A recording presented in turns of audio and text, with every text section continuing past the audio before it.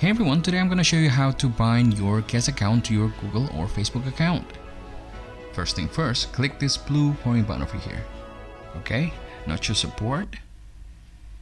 So the reason why I'm doing this is just because when I tried it, it was so, so hard. Because it's not so obvious, right? Okay, now go to user. In the middle you can see there's a bind button. This is the button you're going to use to connect to your Google or Facebook account.